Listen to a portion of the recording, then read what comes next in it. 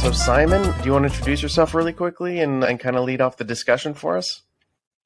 Okay, I'm Simon Eccles. I'm a journalist and I'm in the UK at the moment where it's five o'clock and it's very hot here today.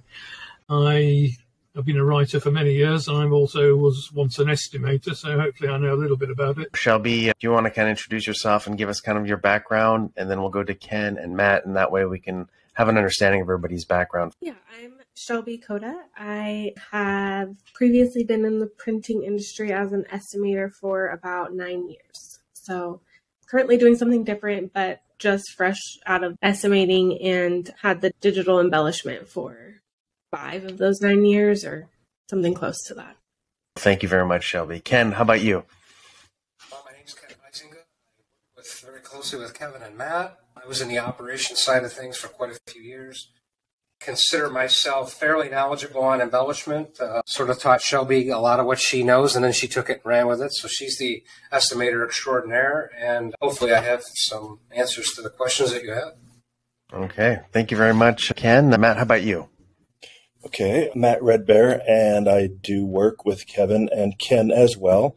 And my day job is Blue Ocean Press, so I do creative design and I'm actually a machine operator for the MGI JV3DS. And I think it's important Matt's here because Matt is very often in the room when the project is being decided and quoted.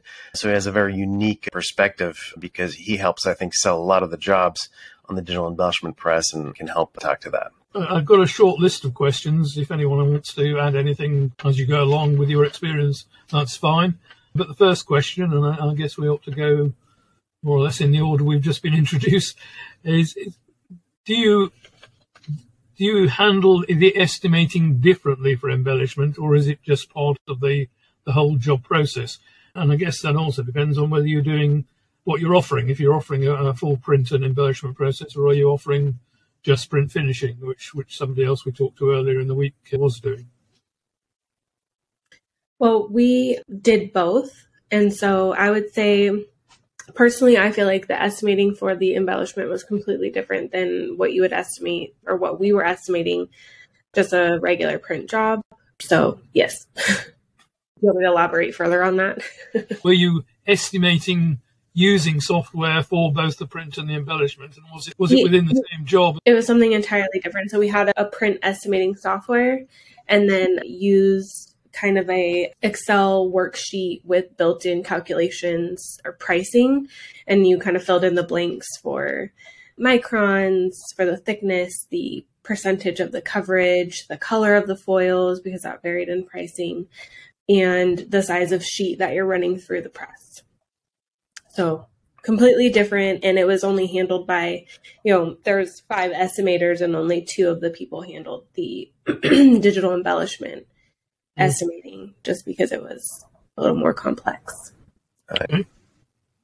Right, I might come back to that. Ken, uh, are you involved in estimating? I was. I had to help fine tune those factors behind the Excel spreadsheet. We had to take a look at what real waste was, what what needed to be calculated, and what didn't. I, I wanted to simplify things. Often they try and micromanage the data that they're putting into the spreadsheet and I, and I wanted to make it simpler. I mean, if, if we're running basically 12, 18 sheets, we know the longest that our foil pulls are going to be 18 inches. And foil is not a very expensive part of embellishment. When you break it down, you could be looking at six to 10 cents a sheet.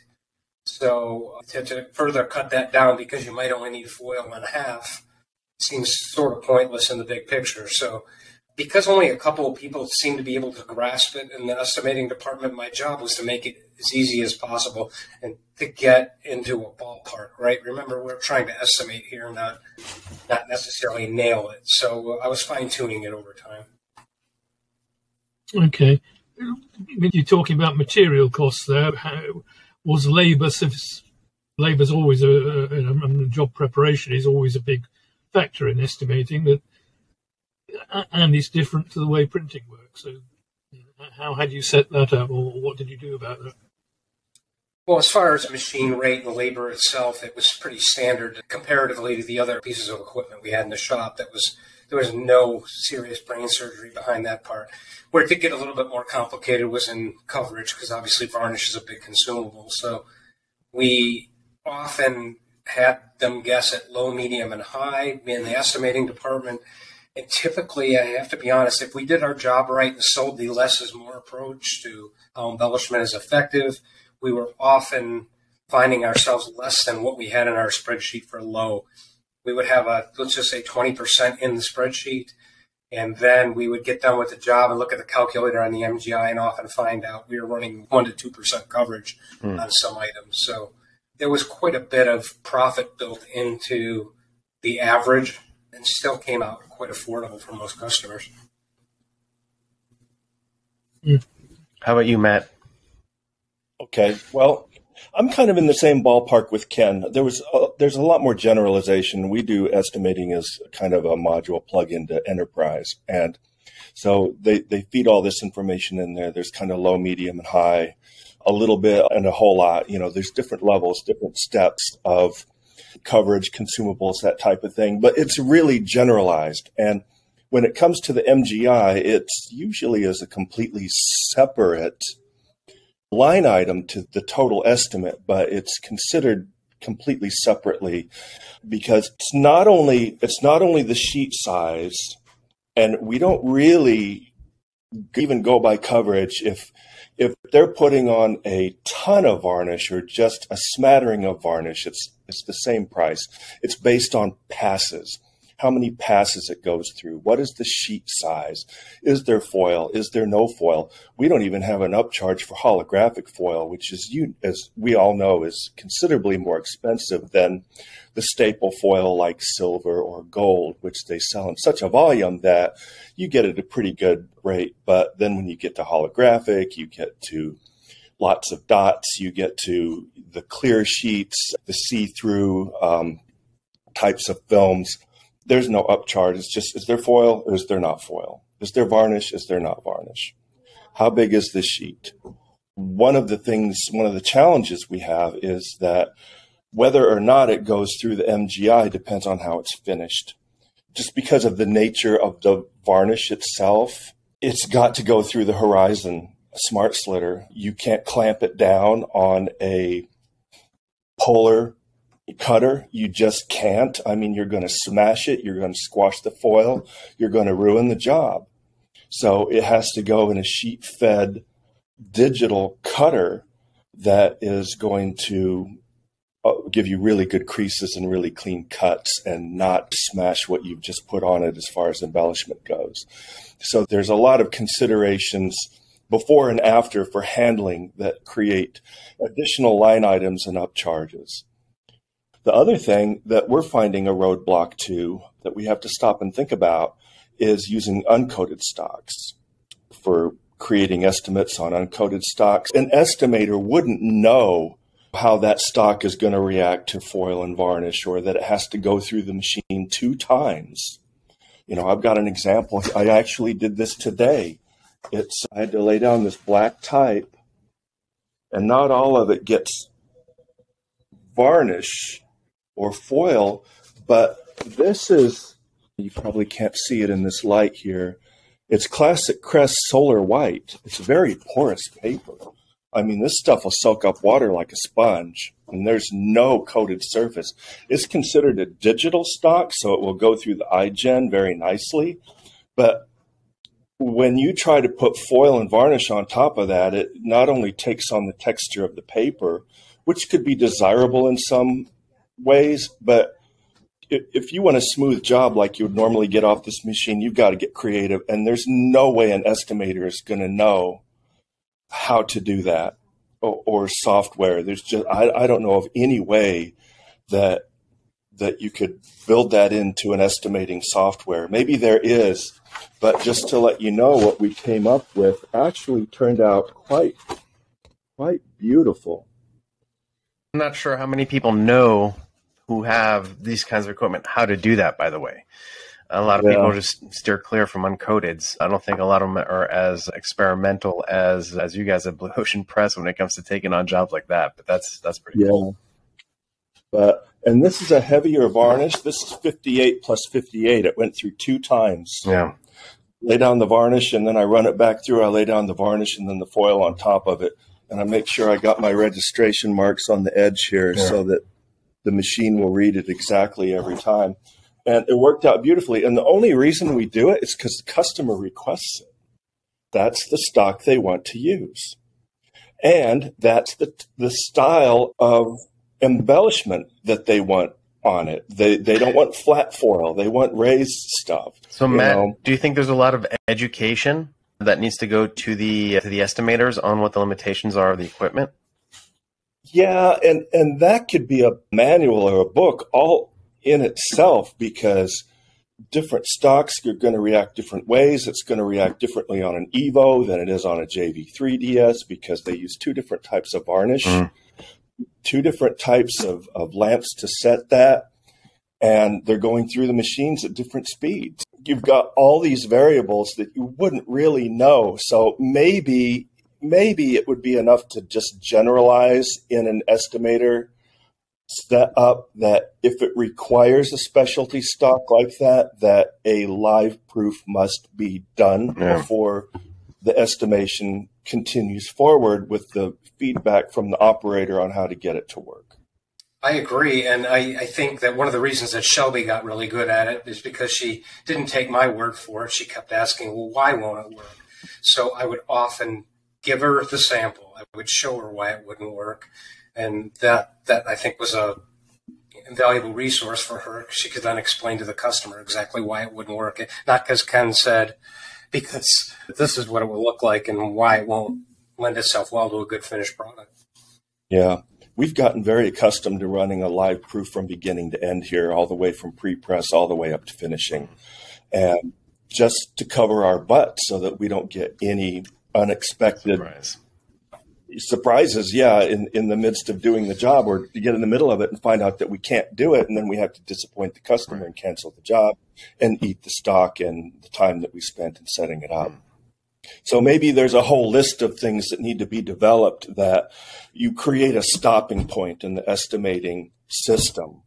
And then it, it goes to the operator or it goes to a consultant who knows and then you get that proper experienced feedback and then decide whether or not to go with the live proof or not to actual run some and see which is the beauty of the digital you know process. You can just do it and then progress forward from there. And we do that with a lot of our customers. We just get to that stopping point make and that's what we're doing with what i just showed you. Mm. make sure it's going to work. Make sure the customer likes it make a sample leave it at the front desk for them to Sure. pick up look see feel and hold and then if they like it we move forward from that point on and generate pricing It sounds like you- you- you're obviously learning from experience, but you know, what- what then do you do about it, Chelby and Matt? For do you make a note? Okay, this paper works in a certain way. So in six months' time, when you get it again and you've forgotten, have you got notes on it, or can you enter that into the Excel spreadsheet or, or whatever you're using? Stays stays in the brain. There, were, there were no notes, which I don't know if it be a good thing or a bad thing, but uh, I think that it typically, in my opinion, when we did something out of the box that we didn't think was going to work, that did end up working. It wasn't something that I quickly forgot about, and I think that that something to what Matt said that there's so many variables is also why we had just two designated people doing the embellishment estimating because there was too many if this then that situations and it did have to go on a different press to cut or you know a different machine to cut and to fold. And don't forget about this and it was just a lot for the estimators who you know to remember so to to, to designate a couple of people to doing that was probably the only way it was ever going to get done and estimated correctly And Matt, just at the beginning, you, you mentioned used enterprise. What did you mean by that? Is that software? No, it's it's the name of a software, and it's you know, think of it as your house software where you enter all the jobs, all the customer information. Each job is created, all the files are uploaded into the system. It creates this whole world of where the jobs live. So we have all the jobs folders, we have all the customer information, all the data, which machines you get used, and then it generates all the statistics, time used. You enter how much time you spend on everything. You know, it's daily operating software, and it has that estimating capability built into Not specifically for embellishment. You kind of had to um, work around it, or it's basically for any business whatsoever, wow. and this is custom tailored for print shops. I mean, both Chelby and, and Matt, you're not using off the shelf print estimating software for embellishment. You, you Chelby used Excel for that, and then you're using this enterprise, uh, Matt. Is that because there's nothing out there, or you didn't want it, or it's what we already use, and it's just another line item, another another section built into it where they put in another machine, another process, and then they click on that, and then it adds it to the estimate, and it just adds everything together. A plug-in just for embellishment that would plug into anybody's estimating system. Does that sound attractive? I think that the software companies have been really weak in the estimating of cover of coverage. The click model works in most of the software. The offset side of things works well in all the software. But when it comes to percent of coverage and you're measuring consumables, most of them were pretty weak at that. We found that there was no formula we could put in that was going to quite work as well. And also the complexities of the multi- multiple pass, right? Most your offset presses are one side, maybe two, or one pass perfecting. Or the, the in the case of a toner based machine, it's one duplex sheet. It comes out, it's done. When you're having to do four, five, and six passes of a product, literally all your expenses can increase by as much as six times. So then you're pulling the machine over in your estimating system as a press that's that's going to be enlisted in your estimate six times. So that doesn't bode real well to a to a simple and easy to understand estimate. Coverage is a different animal. I mean, even on the inkjet side of things, I got a feeling that the software companies are responding a little bit better now because of a wide format and ink consumption in that area. And some of some of this may may marry up it's going to be quite helpful, probably to not even the embellishment community, but to the inkjet community. Guys, I have one question because the heart of the story that we're writing is about the creation of this this new market for the pricing of digital embellishment. So in the early days when you guys first invested in the machine, I think a lot of people were selling it at market variable, which is, you know, it costs this much to do a die. You know, it's five hundred dollars to do this job traditional, so I'm going to sell it for five hundred dollars. And what we've seen is as more and more people got this type of technology, the pricing has kind of created its own little niche.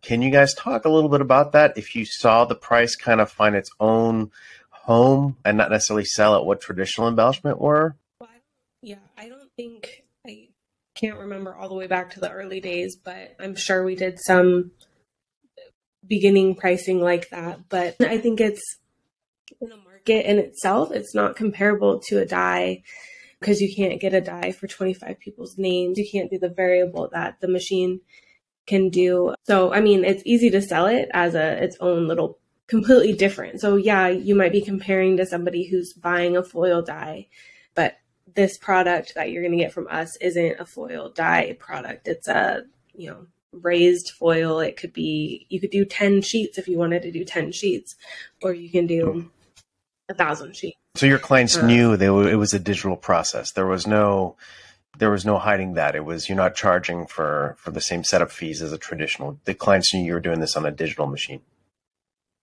We made yeah, we made sure they knew it was a digital press just because it was so unique. Tell them a little bit about one of the casinos that you were able to have some success with, and as far as pricing and how you helped them to understand the benefits of going that direction, embellished direction.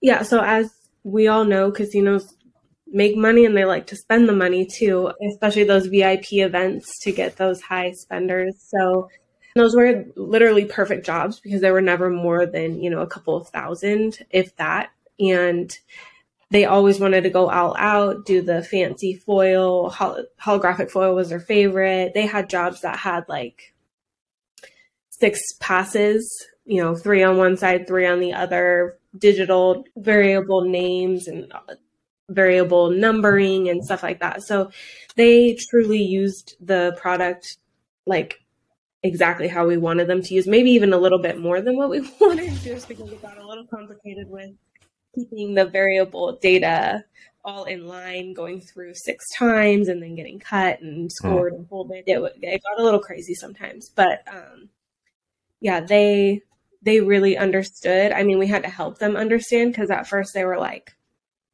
cover this whole picture in varnish. That's what we want. And I'm like, that's not really the best use of this technology. You know, it's not to put a block of, of UV on it. It's, you can do that. And so we, we did a lot of, um, what they would send me is their artwork, even if it was just in like the beginning stages and they'd say, "What do you think would look best? We want we're thinking foil and UV for this project."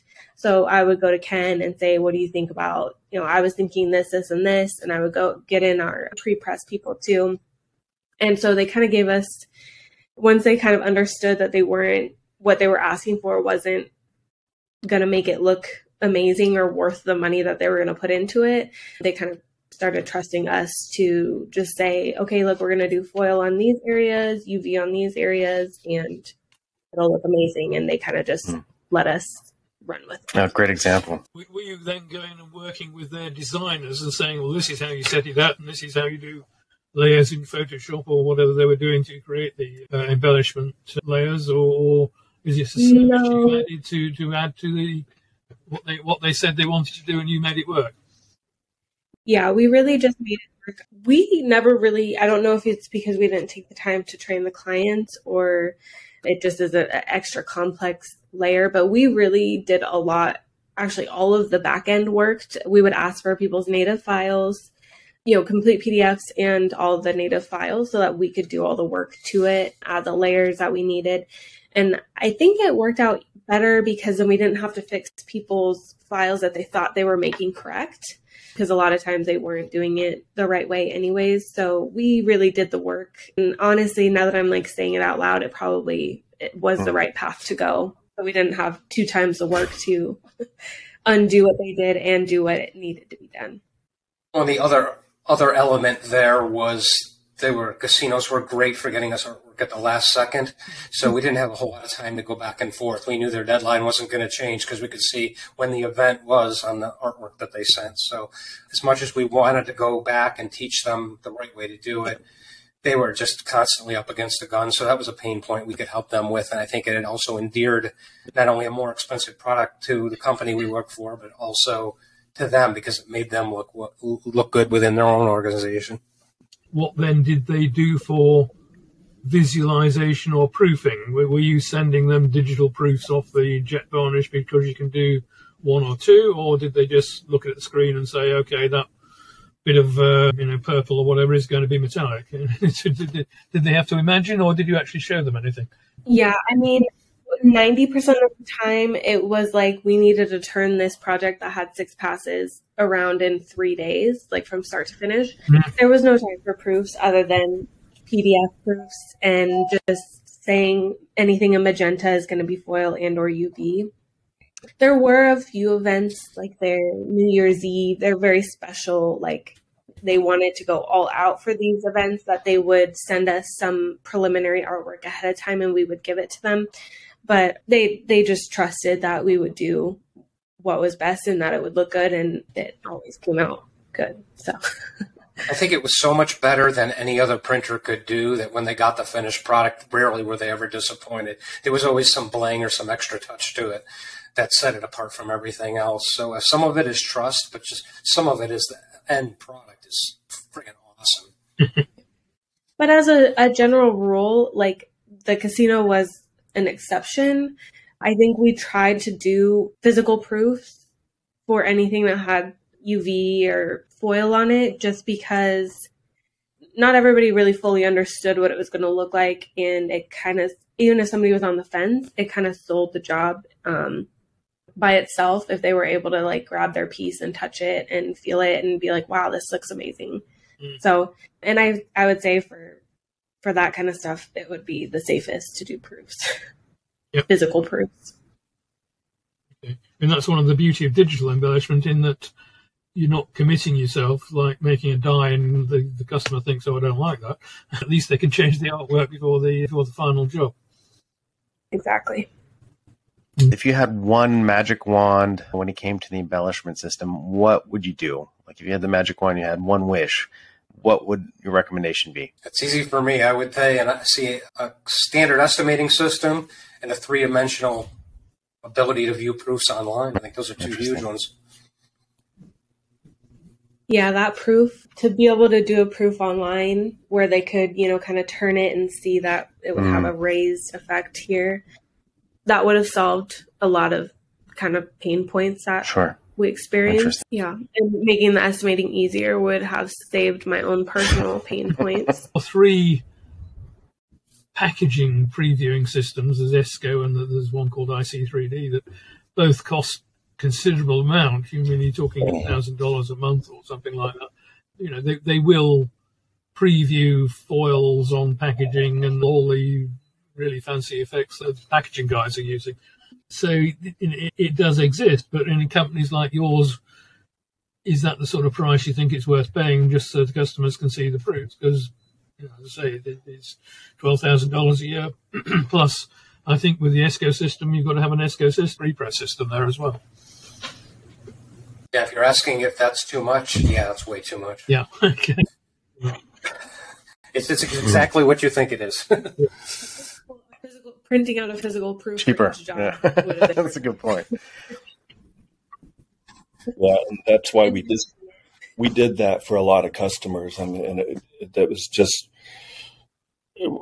a total live proof job from beginning to end, all the way up to the table cutters and you know finishers and all that stuff. Because our clients, our a lot of our clients wouldn't have done well with the visualizer because they want exactly the way they want it. If you had a magic wand for your estimation, what would it be? I don't Hmm. know that I have one. Uh, I just need to know that I can run it the way that it needs to be run based on what the customer requires. I honestly don't think I have any magic wand. I just think it's important to get to know your customer too. If they're not willing to pay hundred dollars for a, a proof, a hard co- a hard proof, they're probably not going to want to pay for an embellished job. So it's important to get to know your customer and find out what kind of budget they have because if that if that's holding them up, they're probably not going to be a long term embellished customer.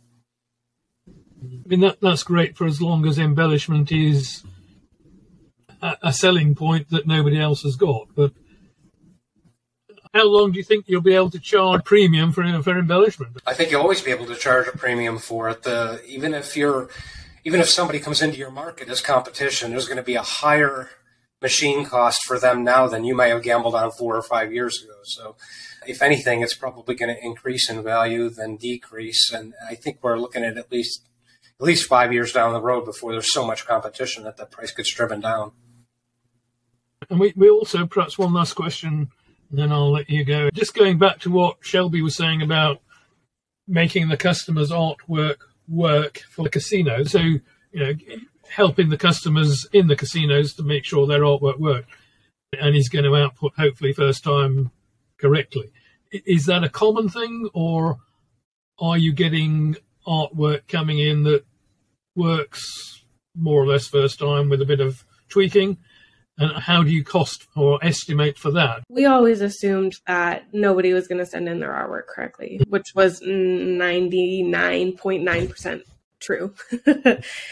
we did have a graphic graphic design like pre-press charge built in to any job that we did for embellishment. We called it file intervention, but yeah, we just made sure like we that. got it. It couldn't it. Yeah, same here. We have a we have a line item for you know pre-press setup, and you know that's going to include you know 15 minutes of pre-press time. So if you can deal with it and work with it within that amount of time, otherwise we give the the customer the opportunity to fix it, which as Chelby notes, 99% of the time, probably 99.9% of the time, they're not going to know how to fix it or they're not going to be able to fix it correctly. So basically give them the opportunity. They'll try to fix it. They won't fix it. Then we offer to fix it for an additional line charge. Mm. And then they'll hand it off to me. I'll let them know how long it took, even if it took four hours. You know, we had four hours of, of design time because I, I'll tell you, I've had to take like 28 page documents and strip them all apart and rip all those pages to pieces and reassemble everything. And that takes a lot of time to put that back together in layers because we have to output basically two separate files, one for the digital print and one for the MGI. Is there a way of educating the designers, the creatives, to get it right first time, or is it just easier to fix it? Oh, they they need to sit in a, a classroom for a week or two and go through this intensive because there's a lot to it, and if you've never worked in pre-press for a year at least, like like deep in the trenches, you're getting yeah. files from everybody and everything for for every machine and every type of output and you'll see every mistake and every problem and you have to fix everything. So it's that level of intensity that you know a lot of they don't a lot of people don't even know how to do a spot color separation they're just so used to RGB on the internet or CMYK for print. So going beyond that, you know, requires a, quite a bit of education. Call Taktiful. we offer that as a service, and Matt is actually one of our instructors on how to do that. So that's a that's a service that Matt uh, is actually offering for designers right now. All right, guys. Well, listen, I wanted to thank all of you, Chelby, Ken, Matt, and Simon, for your time today. I thought this was really helpful, and I wanted to thank everybody for a really wonderful discussion. I, I learned a lot.